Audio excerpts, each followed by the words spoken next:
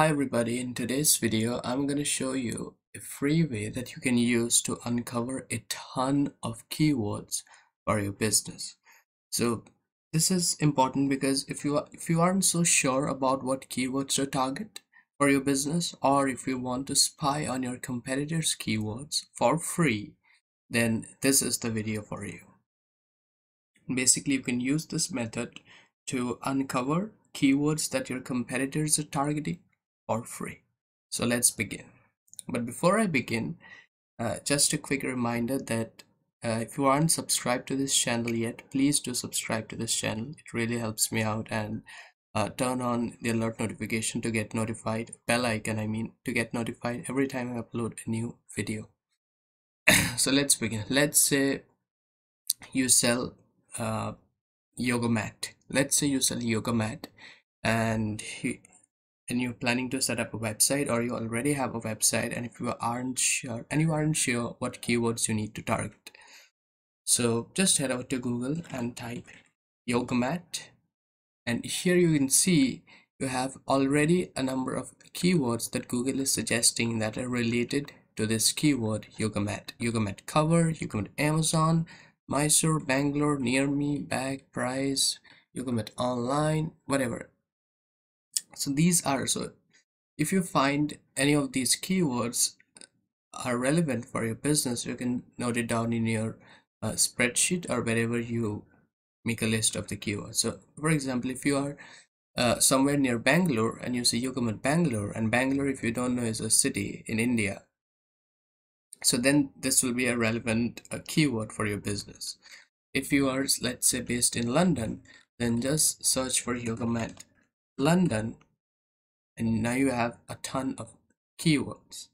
Buy yoga mat london yoga mat london ontario yoga mat london drugs yoga mat hire london right? Cheap yoga mat london jade yoga mat london and a ton. If you're let's say based in dhaka which is in bangladesh again your yoga mat shop in dhaka yoga mat dhaka so whichever whatever.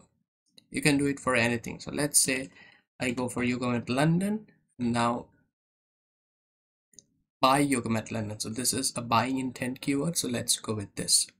Buy yoga mat london now i can see a ton of ads in the maps. Here have amazon.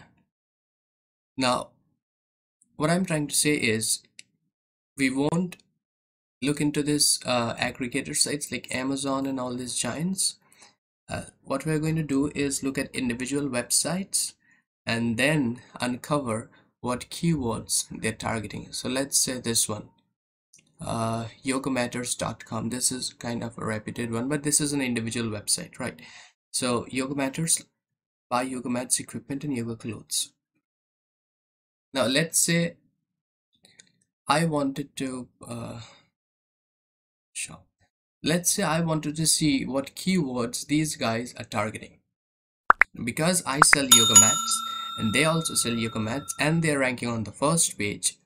Therefore, this means they are definitely targeting keywords that are also relevant to my business because we both of us we operate in the same industry. So what I'm going to do is simply grab the URL, right? Or if you want to go even deeper, let's say you wanted to target anything about uh, yoga blankets, yoga chairs and feet, yoga bells, right? Whatever. Let's say you wanted to go even deeper and target this yoga blankets.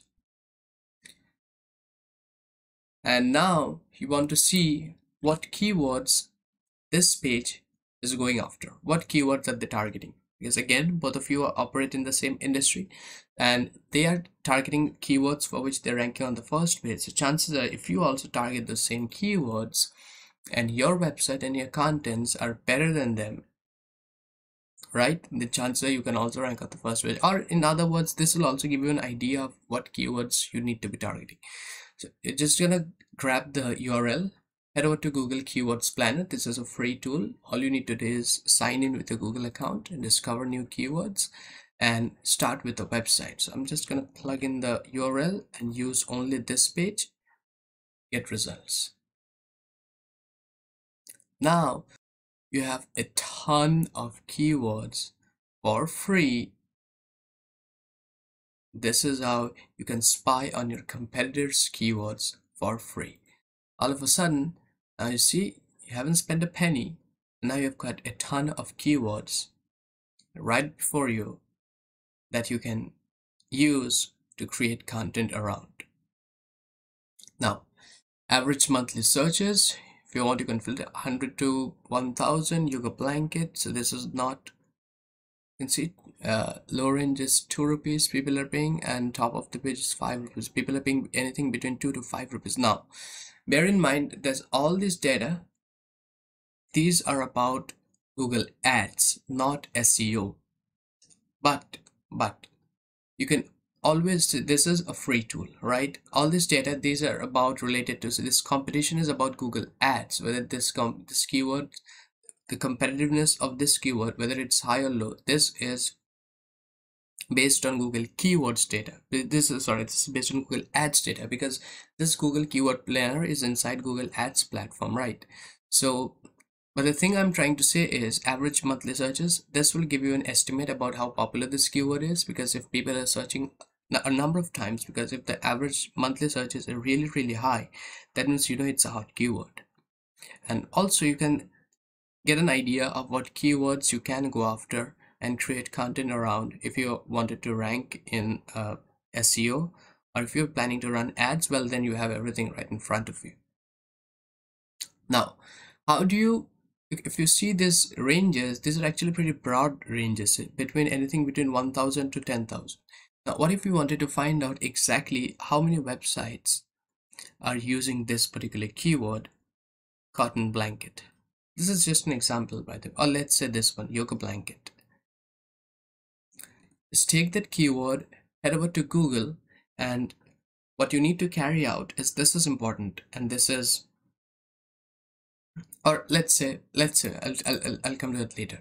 Now if you wanted to find keywords that are related to this keyword yoga blanket what you can do is again head over to google and again do the same thing. You just paste that and then you see what's coming up next. Yoga blankets cotton yoga blanket india yoga blanket uk okay peloton near me canada mexican yoga blankets for sales. This way you can find other related keywords or other keywords that are related to the keyword yoga blanket. There is another tool also that you can use. Uh, there's another tool also that you can use. This one lsi graph. Lsi keywords basically are latent semantic indexing keywords. And what this basically means in simple plain english is lsi keywords are keywords that helps uh, search engines like google uh, and even the users to I mean the searcher by the users I mean the searcher to better understand what you are talking about in your page. In other words these LSI keywords they add context to your content which helps search engines and users to better understand what that page is all about. So to explain this uh, if I use an example let's say if I say mention Apple like it'll be difficult for the search engine to understand whether I'm talking about the apple that we eat or whether I'm talking about Apple computers and Apple iPhones, whatever that is. So if I mention, let's say Apple pie or Apple, whatever, anything, Apple fruit and Apple that keeps the doctor away, then then what that will do is it will help search engines to understand that okay this page is talking about apple fruit the one that we eat. But if i mention there are apple computers and apple iphones and apple iphone 12 whatever that is anything related to apple computers then that will help google understand that okay this page is talking about apple computers. So this is that that's what lsi keywords are and this is why they're important now what you can do is you can use this lsi keywords to uncover even more uh, keywords that are even related to that keyword you wanted to rank well let's say I, I mentioned a yoga blanket and I wanted to generate other keywords that are related uh, to this keywords. These are by the way not synonyms. These are not synonyms by the way. They are really really closely related right keywords that are contextual okay and receive access to it analysis okay so as you have seen there were a few issues because of which I couldn't use LSI graph in this video however I created a dedicated video on my channel showing you exactly how to generate and use LSI keywords step by step. Link in description. You could check it out after watching this one. Search through our LSI database. You can, by the way, even you can even use this uh, Google's related searches to uh, find out what other keywords that you can rank for. So for example, if I type yoga blanket, uh, here you already see a list of suggestions but if I, even if I search for that and even if I now scroll down this is people also ask what is yoga blanket used for? So you can put out a blog post targeting this whole thing what is yoga blanket used for? Do you really need a yoga blanket? What kind of blanket is best for yoga why do yogis use mexican blankets? You can put out blog post for each of these keywords. If it, even if i expand this now again you'll see other you can even see other questions that people are searching for. Why are yoga blankets called? How much does a mexican blanket cost? And here you you see a list of uh, here you you have suggestions about other keywords that people are also searching these are related keywords yoga blanket users best yoga blanket wool yoga blanket indian yoga blanket yoga blanket cotton all these you can create blog posts around all these keywords and they will help you generate more traffic and sales, which is most important. Now, uh, this won't let me out. So even if you just take this, uh, take any keyword yoga blanket and let's say you put in that LSI generator and that will show you a list of uh, latent semantic indexing keywords that you can use in your content or you can target keywords from there and uh, that will help you also to find out keywords that are relevant for your business. Now let's say you have finally you've done carried out all your searches and you have selected maybe two three keywords and now you want to find out exactly how competitive those keywords are. You want to get an estimate about how competitive could that keyword be. For that let's say you wanted to find out how competitive this keyword yoga blanket is. What you're going to do is you're going to want to copy this uh, keyword head over onto Google and the goal is now I want to find out how many websites are using this particular word yoga blanket in the title of their web pages. Why this? Why so? Why title? Because title of a web page is like the cover of a book. So if a book talks about apple computers apple computers chances are that book is going to be about apple computers. If that book talks about let's say yoga mat then everything inside that book will revolve around yoga mat. So similarly that's why we want to find out exactly how many websites are using the term yoga blanket which is in this case is yoga blanket in the title of their web pages. In order to do that you're gonna want to use a search modifier. I think this is called search modifiers i think yeah. So you're, you're gonna want to use a search modifier search operator not modifier search operator to find out exactly how many websites are using are using this keyword yoga blanket in the title of their web pages. So for that just type in title t-i-t-l-e okay just type in in okay just first type in yoga blanket and I'm just gonna type in in title right colon open quotes and then close quotes and then search. Now you see 21,300 results. So 21,300 websites are using this keyword yoga blanket in the title of their pages. So it's a really really really really really high competitive keyword. The chances are if you're targeting this keyword yoga blanket chances are you're not gonna rank. That's like the the odds are not in your favor. I mean the chances are not gonna rank for this. Now let's say let's say you found out that okay i'm not gonna rank for this keyword. So what if you want to use a keyword that's not exactly yoga blanket there's something related to yoga blanket? Let's say yoga blanket users best yoga blanket.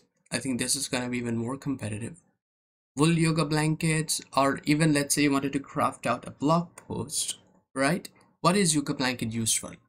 Now let's say you say okay i'm not gonna rank for yoga blanket instead what i'm trying to gonna rank for what i'm what I'll try to rank for is what is yoga blanket used for. So in that case, let's see how competitive this keyword will be. There was 20. Oh, okay. I mean, it did not match any, not a single. Look what I have found. I mean, I'm sure there are many people who are going to take this thing and run away and then quickly put out blog post. So what is yoga blanket used for?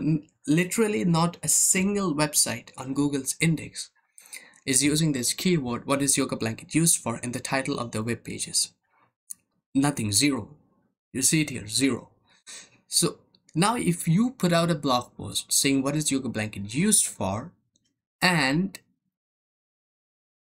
nine best yoga blankets of 2020 okay? Now and now you go through this contents and you write something that's even better that's more comprehensive that covers everything about yoga blanket and why what's that used for. That covers everything about the uses of yoga blanket. And you put the title of that blog what is yoga blanket used for as well as the title of that page what is yoga blanket used for. And you write a comprehensive in-depth article that explains a to z everything about yoga blankets uses what are the chances that you're going to rank for the keyword? Almost 100% because not a single not a single site on Google's index is using this keyword what is yoga blanket used for in the title of their web pages. Look what I've just found. This is literally a gold mine. This hack that I've just showed you is literally a gold mine. I'm sure there are many people will be watching this will run away with this thing and then create content and start ranking. I wish you the best if you're planning to do that. Go create content and rank. And if you and if you even rank for this if possible just send me an email and tell me that hey Sahil I watched your video and now I put out content. You targeting that keyword and now I'm ranking. I'd love to find that out. So yes so this is the way this is how you can rank for uh, this is how you can rank for uh, uh, not rank for this is how you can find keywords. This is how you can uncover not really find this is how you can uncover secret keywords that nobody is targeting and then rank for those keywords. This is how you can spy on your competitors keywords. This is how you can get an idea of what keywords you need to be target you need to target. Right? So i'll just lay out the steps here for you for ease. Uh, let me just zoom this one. Just quickly zoom this. So step one is to google what your business is about. So what does that mean? Example if you're trying to sell yoga mat you'll just google yoga mat and if you're a local business you just type in your city or whatever yoga mat london yoga mat let's say kolkata yoga mat dhaka yoga mat or whatever whatever whatever is the city just do yoga mat. If you're selling online so let's say best yoga mat I mean, you just Google what your keyword is all about, right? What you, what your business is about, what you offer, what's your offer. You're gonna Google that. Second step, what you're gonna do is grab the URLs of top individual sites, right? You're gonna wanna uh, you're gonna wanna grab the URLs of top individual sites. You're gonna you're gonna ignore the uh, try to ignore uh, the urls of sites like amazon and all those aggregator sites. If you're from india i try to ignore flipkart and those sites right? So grab the urls of top individual sites. Of page one page two you just want to see what keywords they're targeting. So then step three is head over to google keywords planner.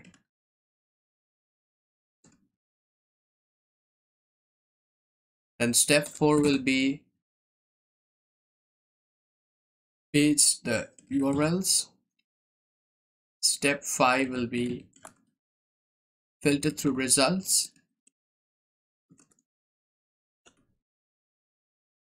filter through results right after you paste the url you want to filter through all these results and see which ones are most relevant to your business uh, what you'll do is uh, grab those urls or grab those keywords and then paste it somewhere in your google sheet or excel whatever that is. You just paste it, those keywords in there. So that's uh, step five filter through the results and record it. In a spreadsheet or excel whatever you use. And then step six is uh, LSI variations if you want that and step seven. So this is going to be a seven step process. Seven step is the in title hack that I showed you. Uh, you're gonna want to see how many other websites on the internet are targeting that particular keyword and the title of the web pages. So that will give you a good estimate about how competitive that keyword could be. So if you are targeting yoga blanket you'd have to compete with other 21,300 websites on the internet if you wanted to rank for this keyword you yoga blanket.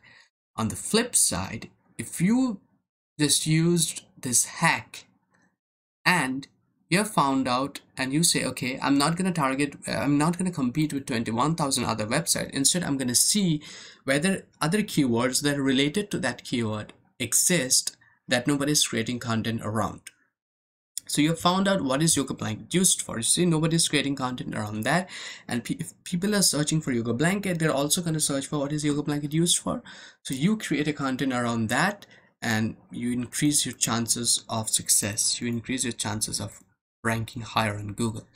So step seven is the in title hack.